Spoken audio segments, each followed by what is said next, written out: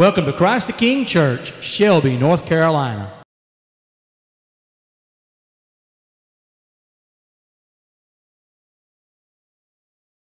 Let's enter into a prayer moment. Because He lives, we can face tomorrow. No fear.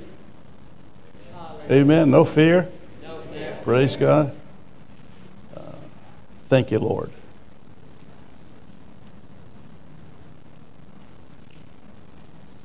As we sing, our mind comes into alignment now with you and your word and the Spirit of the Lord. We pray tonight for those who are sick. We pray for Sam. We pray for Jerry Pearson. We pray for others that are away. We pray for Cindy in Honduras. Let the Spirit of the Lord be strong upon her.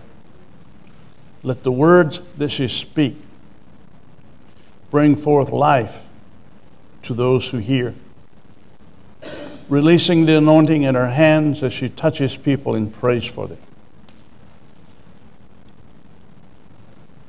We thank you for our men's meeting we had last evening for the wonderful meal, Lord, and the fellowship in the Word. We thank you, Lord, for our chaplains that you have set aside here to help pray the prayer of faith for people. Lord, I need your help tonight in what I think you've given me. And I know these are not the kind of teachings you just hear, but you hear and hear and hear. And then faith comes. In Jesus' name, amen.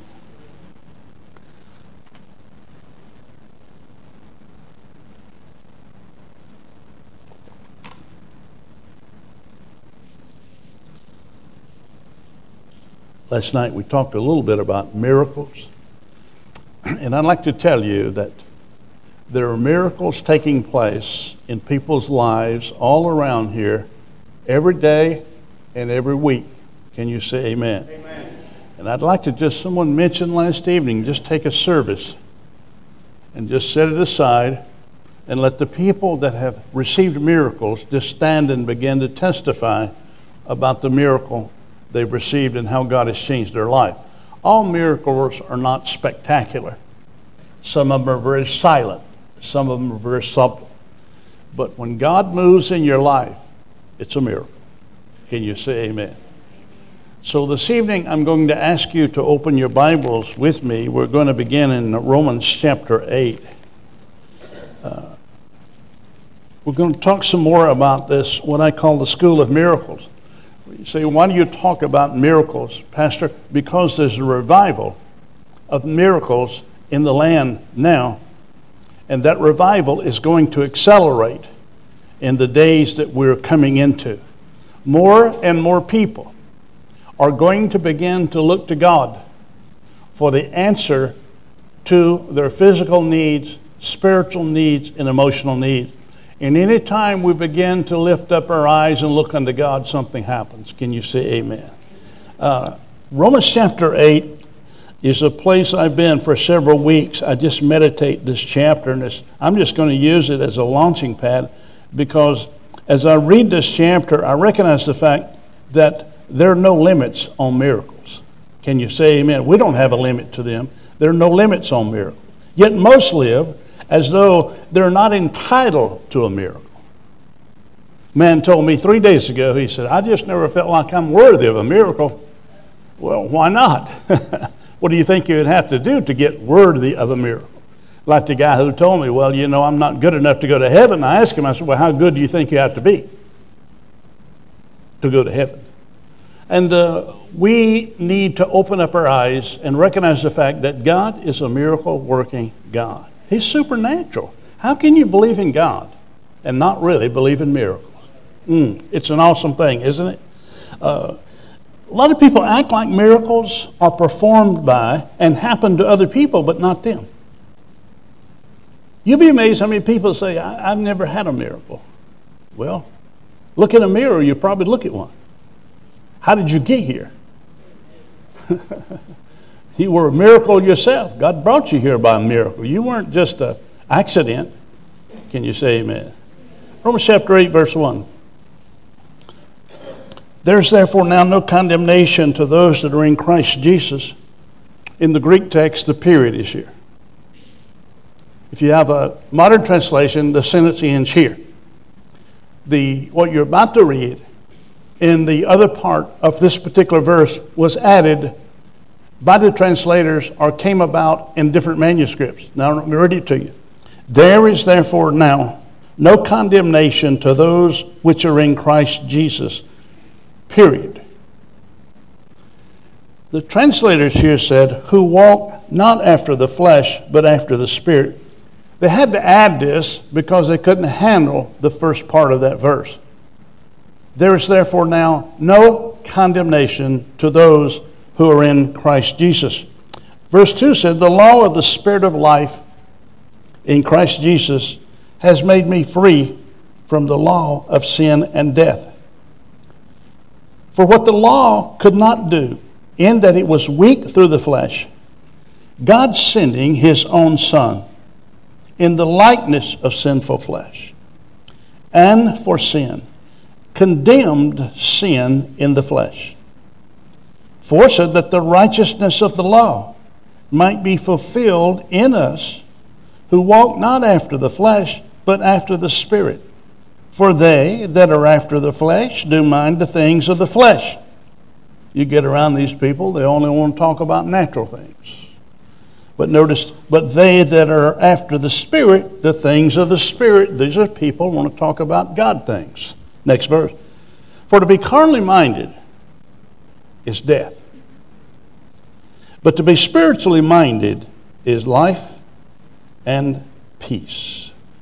That to me is my calling.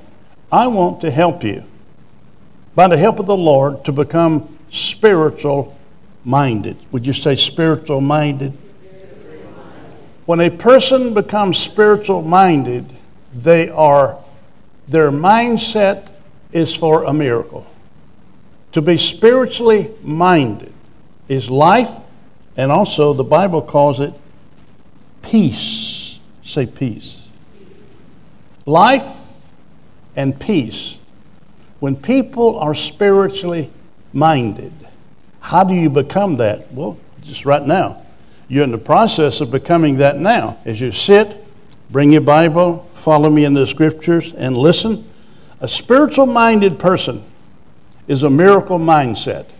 That person will have no problems when you talk to him about miracles. When you talk about prayer, he said, Yeah, I pray. I want to get in on that. When you talk about studying the Word of the Lord, he's in on that. You see, it's a lifestyle for him. It's just not something he does on Wednesdays and Sundays, it's a lifestyle for him. He's spiritual minded. Paul talked, he's a spiritual person. Paul talked about the natural man, he talked about the spiritual man. The spiritual man believes things. Can you say amen?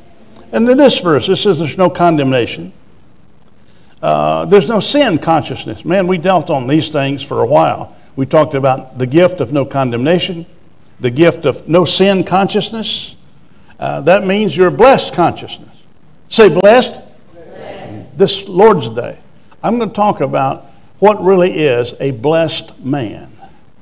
What is a blessed man? I'll tell you who he's blessed. Blessed is the man to whom the Lord does not impute sins. Blessed is the man who knows his sins are been forgiven. Blessed is the man who knows there's no condemnation in his life. Blessed is the man that's spiritual minded. He's moved away from that carnal mind and carnal thinking because it only produces death. People are dying all around us today because of their thinking. Carnal thinking. It's death. There's no life. There's no victory there. And you can sing about it and preach about it for 30 days. But until something happens here in the mind, until it becomes, the Bible calls it, renewed and becomes a different mindset, then they'll remain thinking carnal stuff, thinking natural things, worried about this, worried about that, concerned about how they're going to make their ends meet, concerned about every little symptom that comes upon their body. I wonder what this is. This is mindset that we need. Spiritual minded people Listen, life, say life. life. Peace and joy. I call it kingdom consciousness. It's hard for a carnal believer to understand that he is in the kingdom of God. I have been delivered from the kingdom of darkness, and I have been translated over into the kingdom of God's dear Son. I am in a kingdom that is ruled by God. Blessed be the Lord. And do you know that the kingdom of God is not eat and drink? The kingdom of God, according to Paul writing in Romans, it's righteousness, peace, and joy in the Holy Ghost. Righteousness, peace, and joy. That's the things we enjoy over in the kingdom of God. You say, Where is the kingdom? Jesus says it's within you. Isn't that an awesome thought? I am in the kingdom of God. That means that I, am kingdom conscious. I'm not sin conscious because my sins have been paid for. They weren't just paid for, they have been punished in the body of Jesus Christ. My sins have been punished in the body of Jesus Christ. That's why I'm pardoned and I'm purified. Not because of my works, but because of what Jesus has done for me. Can you say amen? So I have a blessed consciousness, not a cursed consciousness. In the kingdom, there's where healing resides. And what we do, if we can get people out of that carnal thinking, and I'm not saying it's easy, and get them over into this spiritual thinking, get them over into kingdom thinking become spiritual minded. It's amazing what begins to happen in your body and in your mind, your physical being, as you begin to move into that kind of thinking. It's awesome. I said it's awesome. Can you say amen? Uh, we're going to Proverbs chapter 4. John 8 32, we dealt with this weeks back. You shall know the truth, and the truth shall make you free. We were singing tonight about being free, and I just wanted to stand up and say, free from what? T.D. Jakes says every few weeks they have to have get free services. How many times do you have to get free? And he'll have people run all over the church, praise God, I'm free. And they have another get free service next week or next month, the same people coming back trying to get free again. How many times do you get free? Listen, let me just settle it with you right now. Singing won't set you free. Amen. Preaching won't set you free. Truth is what sets you free. The truth you know that will set you free. There's no sickness, there's no disease, there's no conflict that you'll ever face that the truth of God won't heal in your life. Missed a good place to say amen. Truth will set you free when you become aware of that truth, when you know that truth, begin to acknowledge that truth. Can you see amen? Proverbs chapter 4. I want to go there, please. And I want to show you this person I would call the great physician. Proverbs chapter 4. I hope you have your Bibles. Dear God, people nowadays, you know, they don't use Bibles, they use this. Uh, and I guess that's okay. It has to be. I can't do anything about that.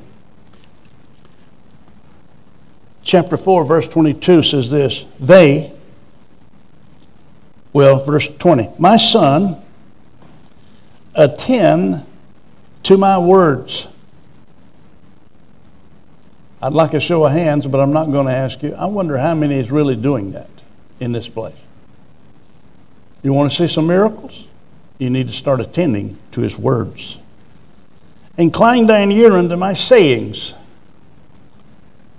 Let them not depart from thine eyes. Keep them in the midst of thine heart for their life. Would you say life, please?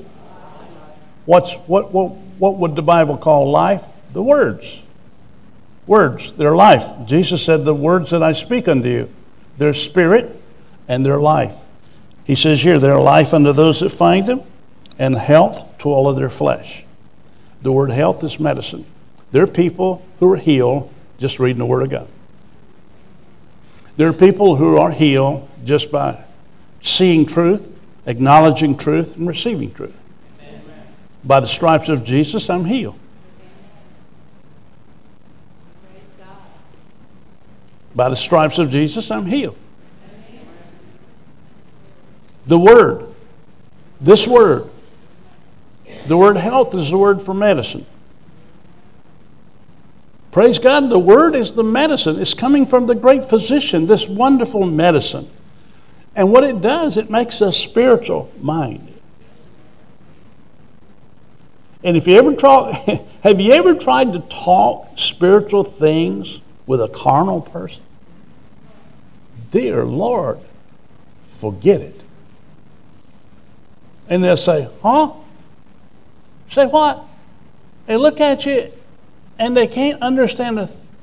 To be spiritual minded is life and peace. And when God gave me that job, I said, Lord, I hope you know what you're doing. Because I really need your help to be spiritually minded myself and to help your people to be spiritual minded. So it's not about me, it's about Him, and it's about this kind of thinking. When you're carnal minded, that's death. There's nothing good operating in you. The life of God does not have the foreplay in your life that it really wants to have. So that's why we need to meditate the word of the Lord.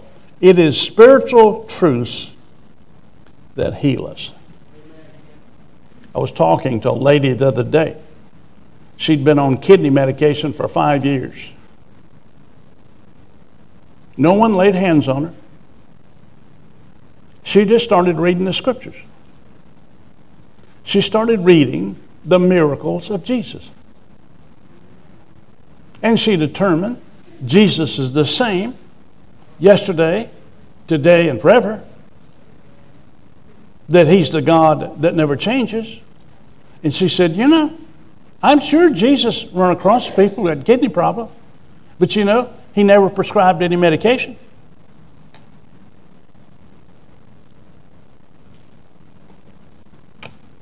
I said, Wow. She said, That's five years ago. I'm free. I don't have kidney problems.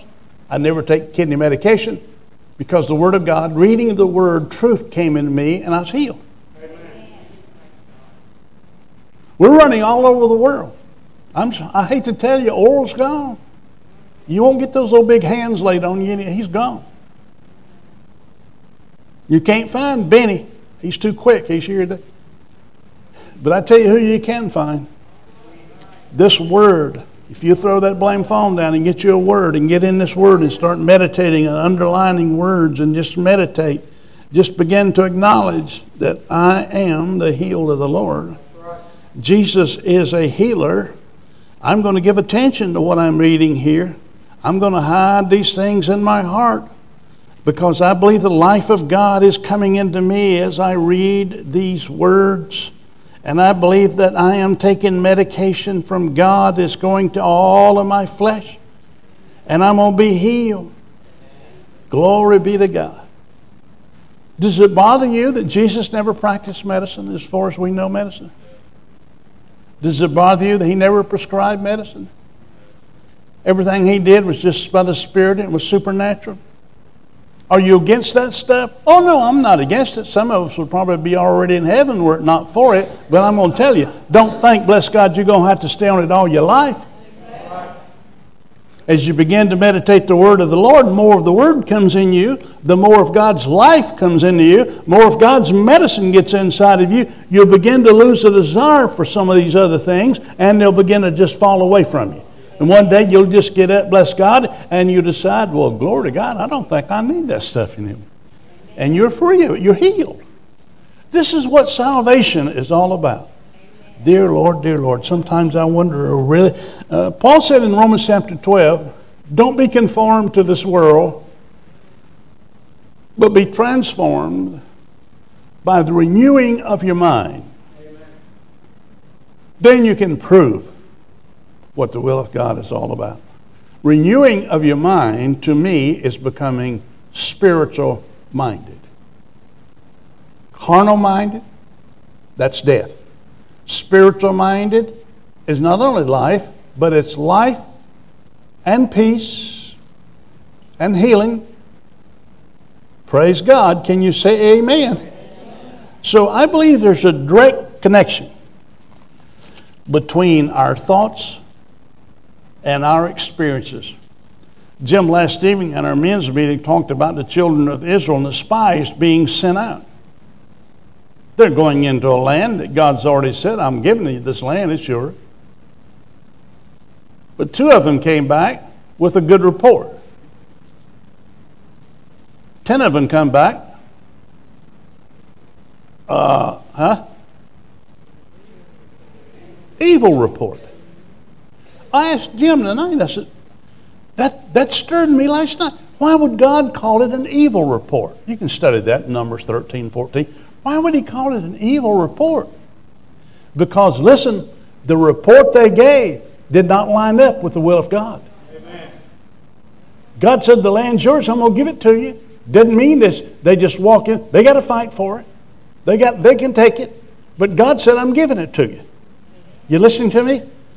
But they said, No, no, no. They're, woo, they're giants over there. We're grasshoppers in their sight. We can't, we can't do that. But the other two, Joshua and Caleb said, Oh, we're more than able. We can do it. Those were the only two that lived to possess the land. The rest of them died out. So you understand, when I tell you that it is the will of the Lord for you to be healed, supernaturally by the power of God, that by the stripes of Jesus you're healed, and you begin to look in other directions, and you don't come in agreement with what God has said in your word, that's an evil report, God says. And if it's evil, that means it did not come from God because God is not evil. And evil is a lie. I wish somebody could hear what I'm saying. What we think affects our health. What we think affects our, our happiness. And I think there's a direct connection between what we think and what we experience in this life. Hallelujah. He's a can do God. Can you say amen? When we, when we transform our thinking, we are renewing the mind. Because our mind is set in a certain direction because of what we've been taught our lives. You understand? Most things that we believe we believe because some man told us. That's the thinking, it's a mindset that we have. Bible calls it carnal thinking.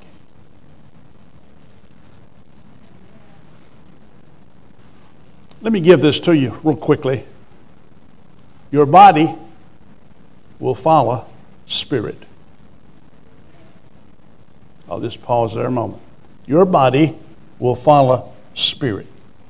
Your body is always in agreement. Your body is wanting to come in alignment. If your spirit goes in this direction, your body has to follow. No choice. There's no option. Because your body is not real smart by itself.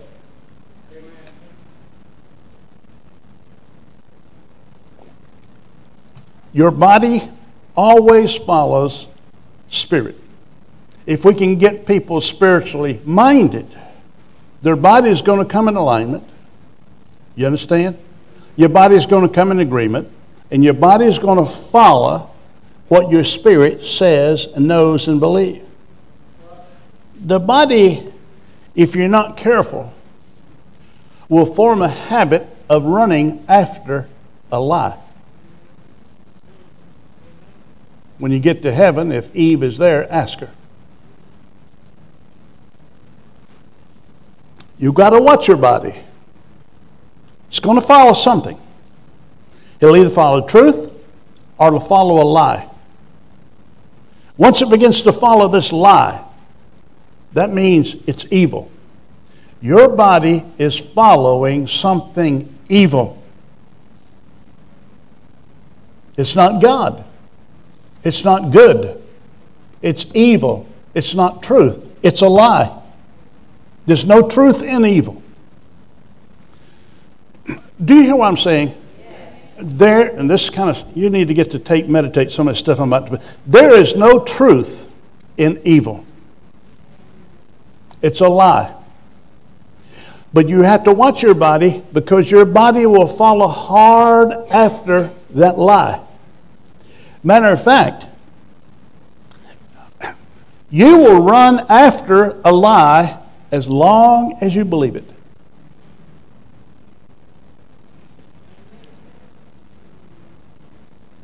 That's why I'm asking, whose report are you going to believe? Have you ever went to a doctor and got a good report?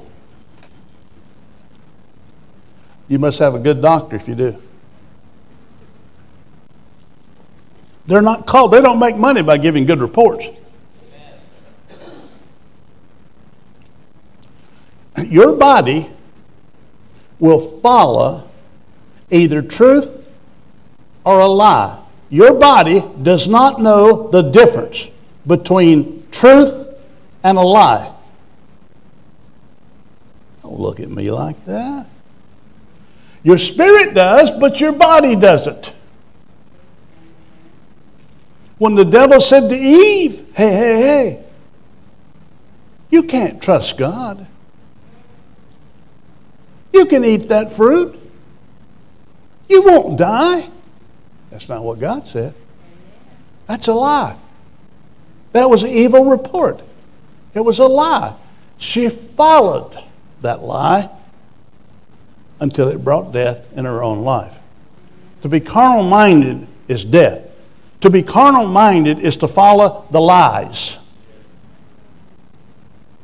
Carnal minded people don't follow the truth. They follow a lie, and they'll follow that lie as long as they believe it. These lies just don't go away. What do you do, Pastor? Bless God, you stop. You fight. You resist. You say no. I refuse to follow this lie one more minute.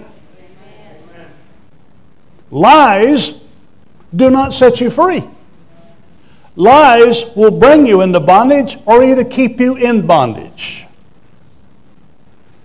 Can I get an amen in this place tonight for you? The truth of God is the only thing that will set you free. But your body doesn't know truth from a lie. Your body is always following something or someone. Always. Always. Your body has to have something or someone to follow. And anytime you give attention to a lie and begin to follow it, you're actually following a power that's opposed to God. Totally opposed to God opposed to truth. Can you overcome it? Oh, yes. Yes. People are always talking about devils. The devil can't make you do anything, he's defeated. The only thing he can do is lie. And all you got to do is say, fish not biting today. And you're okay. You go to a physician, he's going to tell you, you've got this problem, you got this problem, you got this problem. It might be a diagnosis coming from the natural. But let me ask you, whose report are you going to believe?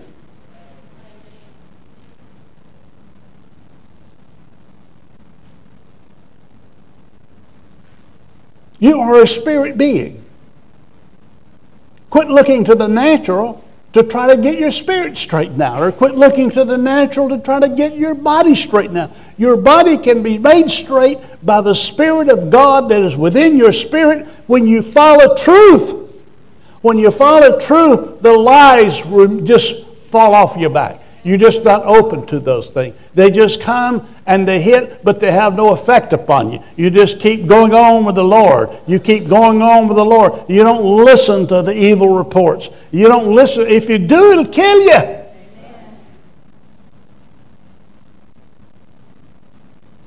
Every person that was a part of the children of Israel. Every one of them died because they believed a lie. They died.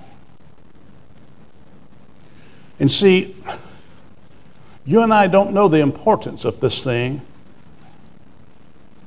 of knowing truth, following truth, resisting the lies, resisting evil, resisting sin, and resisting sickness. Those things have no power over you.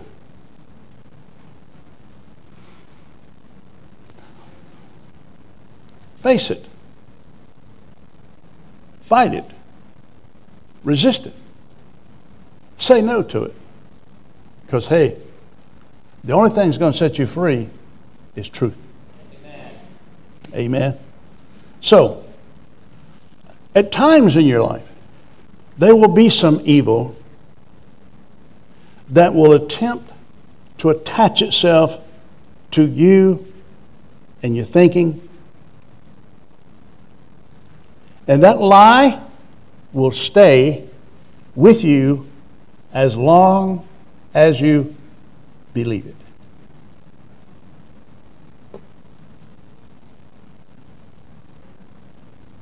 It's always opposed to God. The little lady with the kidney problems. Five years now she's been free. But before then, she listened to the physicians. And I'm not against physicians, I have a good one. But she was following their counsel. She was following their medication, which is made out of matter, it's material. She's a spirit being. They're listening, she's listening to that, and she's following. But then the truth began to come in. And she began to say, hey, you know, my body is going to go the direction that I tell it to go in. And I'm telling my body to get in line with my spirit, to get in line with the Word of God. And God's Word is medicine, it's health and healing to my body. I'm telling my body to get in line with it, and kidneys cleared up. Medication's been, on, been gone off it now for five years. Amen. Now, how you do that? Just do what I'm telling you tonight. Quit following a lie. Whose report are you going to believe? God has a report. His report is always truth. Always. And his report is always good. The enemy always has a report. It's a lie. It's evil. There's no truth in it. Are you okay? Real good. Okay, what are, what are you going to do when conflict comes? I want you to make a note of a few things here, real quick. When you have a conflict,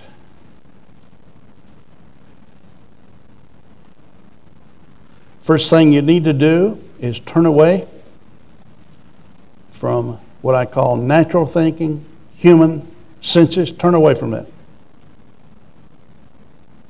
Jesus talked about get in the closet. What are you going to do? You, you got a conflict here because you got a different report. You get an evil report. Doesn't look good. What do you do? I'm telling you what to do. Turn away from this. Turn away from carnal thinking. Turn away from natural thinking. Find your closet. Find you somewhere that you can get alone with God. Number two, acknowledge God's presence.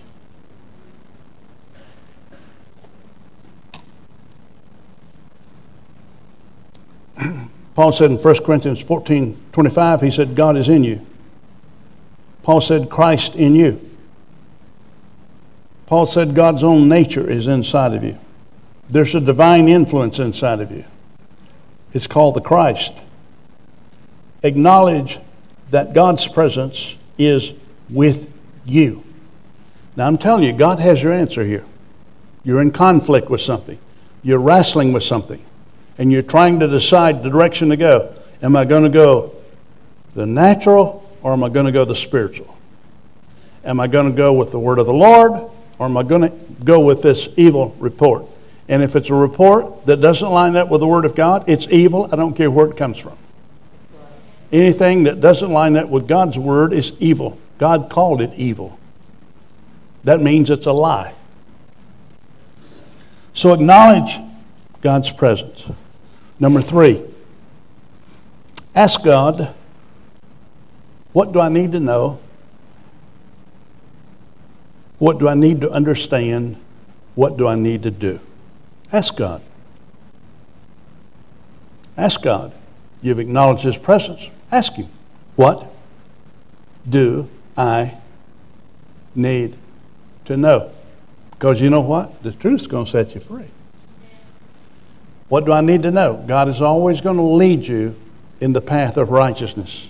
God's always going to tell you truth. What God's going to tell you, it's always good. It's never evil. So just ask Him, God, what do I need to know? What do I need to understand? What do I need to do?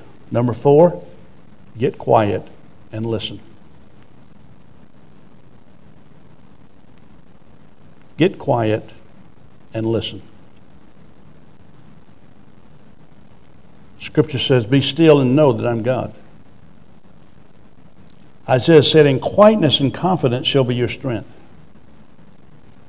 Isaiah said, The whole earth is at rest and is quiet. When evil reports are working in your consciousness,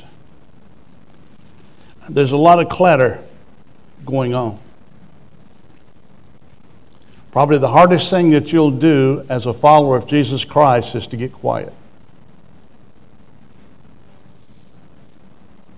I first came to Shelby, it was hard to get Pentecostals stand still long enough to lay hands on them. And something harder than that was tell them, shut up, let me do the prayer. you think it's easy to get quiet? I dare you to try.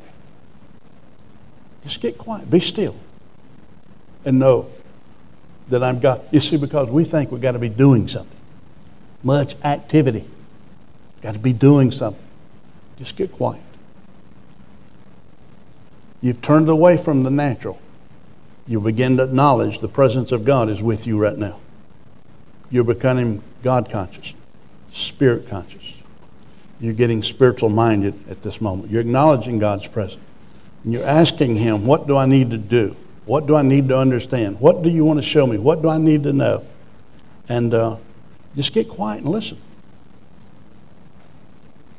Well, you say, God doesn't talk to me. That's a lie. That's evil. That's an evil report you just gave right there. That's an evil report because it doesn't line up with the Word. Jesus said, My sheep know my voice, they hear my voice, and they follow me. That's the Word of the Lord. Anything other than that, because you have those thoughts, well, you know, God doesn't talk to me. Watch. That's an evil report. Don't get in, don't come in agreement with that. Don't start following that lie. People have followed that all their life by saying, God doesn't talk to me like that. That's a lie. You've been following it for how long?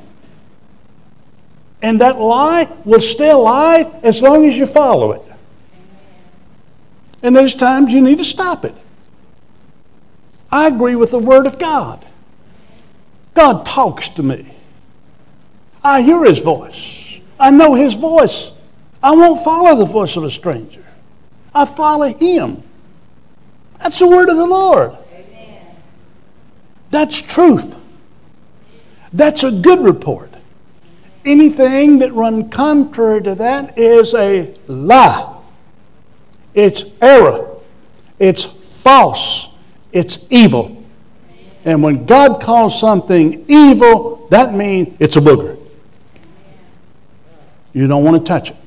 And for God's sakes, do not allow it to settle in your consciousness. That's why Paul said, Bless God, none of these things move me. He said, I just think myself happy. Ha, ha, ha. Ha, ha, ha. I have one other thing I'm going to tell you. First of all, I said, turn away from the natural. Acknowledge God's presence. Ask God what I need to do, what I need to know, what I need to understand. Get quiet and listen. Last, obey. Do what he tells you to do.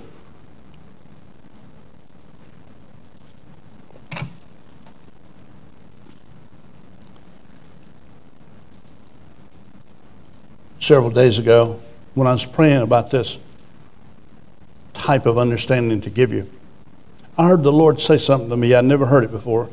He said, I want my people to be healed of the reluctance to study. I said, what, How do you get somebody healed who are reluctant to study? I can't do that, but God can. Some of you need, now listen to me very carefully, you need your own Bible. Your own. Throw the phone away, get your Bible. That's got white pages and black ink. Meditate it, touch it, quote it, underline it, highlight it, listen to it. I'm telling you right now, you need to start training your mind to be renewed and become spiritual minded. That's the only thing that'll get rid of carnal thinking is the word of the Lord.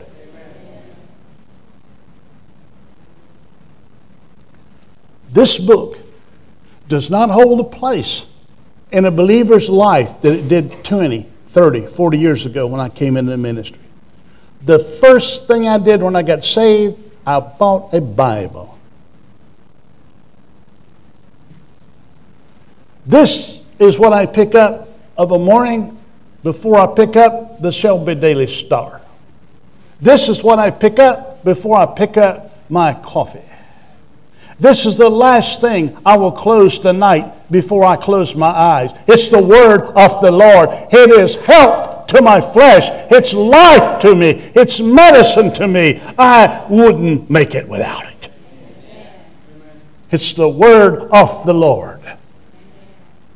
Hallelujah. Can you say amen? amen? I'm praying tonight that God is going to move upon you and before this week is out, you're going to have your own Bible. And if you want to, bless God, have your name put on the front of it right there. And if you can't afford to buy one, if you'll see me, I'll help you get one. Your Bible. Now, the biggest man on the block, come on, Father, the biggest dad on the block will walk out of his house Sunday morning with the Bible under his arm and his children behind him, going to the house of the Lord going to the house of the Lord. We didn't send our children, we brought our children to church. But before the children, there was the word of the Lord under my arm as we walked out of the house. My children have seen me with a Bible all my life.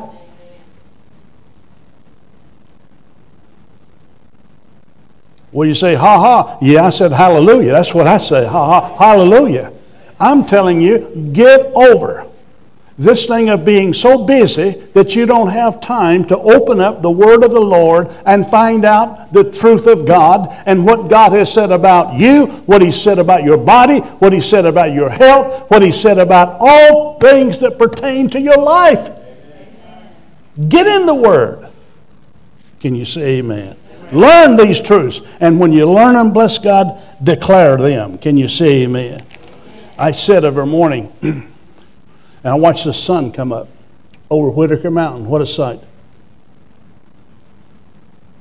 And I have a little desk, an old antique desk I bought. It sits in front of my double window there in my bedroom.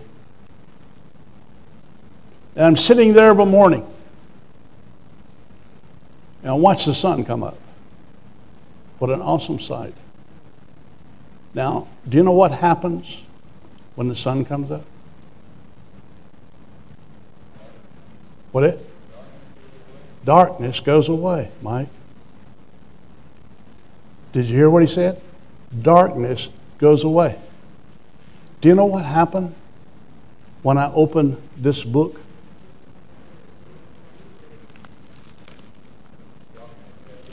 Darkness goes away.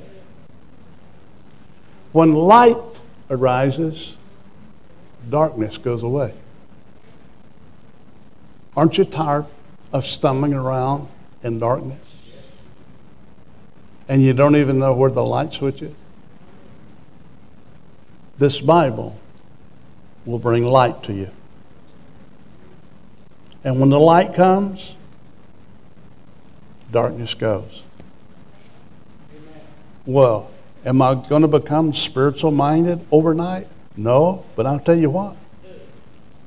If we if the Lord tarries, and we'll be sitting around this time next year, you'll be a heck of a lot more spiritual mind than you are tonight. A lot of things you think you know, you really don't. You're going to find out it might be a lie that some man told you. But see, this book right here straighten your thinking out. Can you see, amen? Okay? I'm quitting, but there are five things. I'm going to give you five words. I call them five tormentors. These five things, either one of them will keep you from becoming spiritual minded. Either one of them will keep you from becoming spiritual minded. If these are in your life, you're not only tormented, you're carnal minded, and you'll never be spiritual minded till you get free of them. First, fear.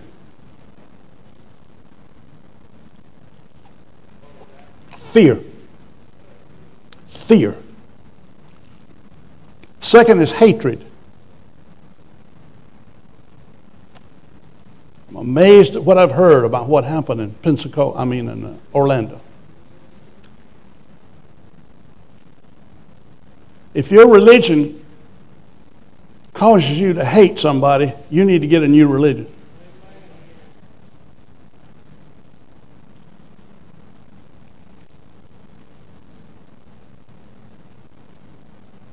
You have hate in your life, you'll never be spiritual minded.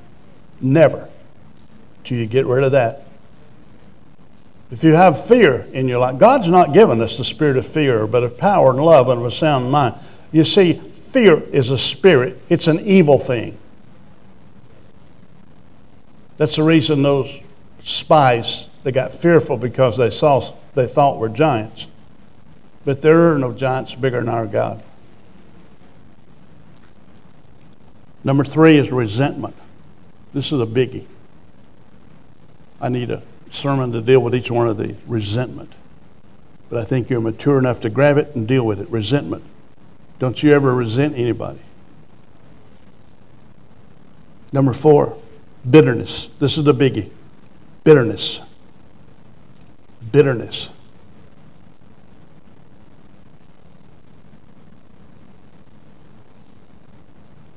Forgiveness. Forgiveness. Forgiveness. I have five. God just gave me another one. Jealousy. Jealousy. Now you have six.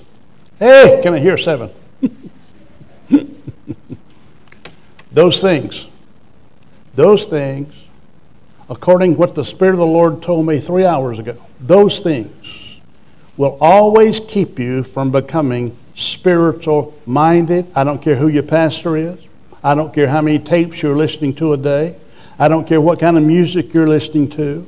I don't care what kind of friends you run with. I'm telling you this these are evil things that work in, the, in your subconsciousness or in your conscious thinking. These things work in you, and as long as they're there, you will never, ever become spiritual minded. You'll be a carnal believer all the days of your life, washed to and fro, wandering around in darkness, waiting on the sun to come up. Amen. Please stand with me.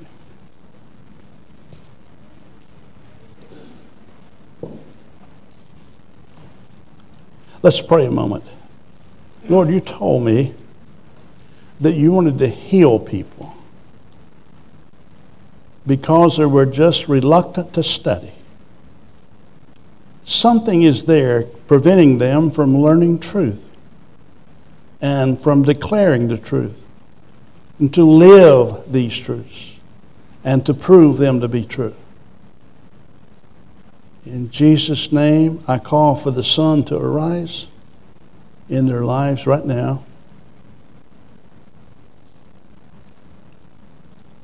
I rebuke and I bind fear, hatred, resentment, bitterness, forgiveness, jealousy. By the authority of Jesus Christ, in Jesus' name, I release these people to the truth of God. I release upon them a hunger for the word of the Lord.